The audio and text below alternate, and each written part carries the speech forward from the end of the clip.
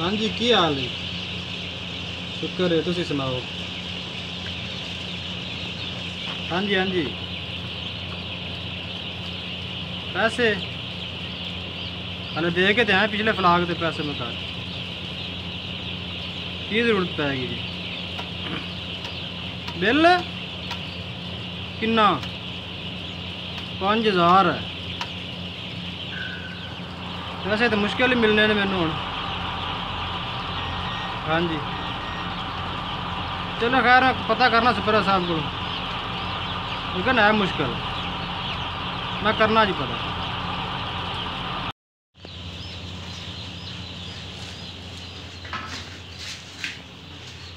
Sir ਜੀ ਹਾਂਜੀ। Bill ਆਏਗਾ ਜੀ ਘਰ ਪੈਸੇ ਭੇਜਣੇ ਨੇ 5000 ਰੁਪਇਆ ਚਾਹੀਏ 5000 ਰੁਪਇਆ? ਹਾਂਜੀ। ਵੈਸੇ ਤਾਂ ਯਾਰ ਨਹੀਂ ਹੋ ਸਕਣੇ ਤੈਨੂੰ ਪਤਾ ਹੈ ਕਿ ਐਡਵਾਂਸ ਮਿਲਦਾ ਨਹੀਂ ਹੁੰਦਾ। ਪੈਸੇ ਫਲਾਗ ਤੋਂ ਬਾਅਦ ਹੀ ਹੋਣੇ ਨੇ ਤੇ ਦੂਸਰਾ ਪਤਾ ਹੀ ਆਪਣਾ ਲੋਡ ਸ਼ੋਡ ਕਰਾਉਣਾ ਹੁੰਦਾ ਤੇ ਫਿਲਹਾਲ ਤੇ ਪੈਸੇ ਕੋਈ ਨਹੀਂ। ਮਜਬੂਰੀ ਘਰ ਆਉਂ ਤੁਸੀਂ ਕਰੋ ਮਜਬੂਰੀ ਯਾਰ ਮਜਬੂਰੀ ਅਗਰ ਮਾਲਕ ਦੇਣ ਹੀ ਨਾ ਤੇ ਫਿਰ ਮਜਬੂਰੀ ਦਾ ਕੀ ਕਰੀਏ? ਘਰ ਕਣਕ ਭੇਜੋ ਫਿਰ ਵੇਚ ਦਿੰਦੇ ਆ ਟਾਈਮ ਪਾਸ ਕਰਨਾ। ਹਾਂ ਕੋਈ ਹਿਸਾਬ ਲਾਓ ਹੁਣ ਹੋਰ ਤਾਂ ਕੋਈ ਹੱਲ ਨਹੀਂ। ਠੀਕ ਹੈ ਜੀ।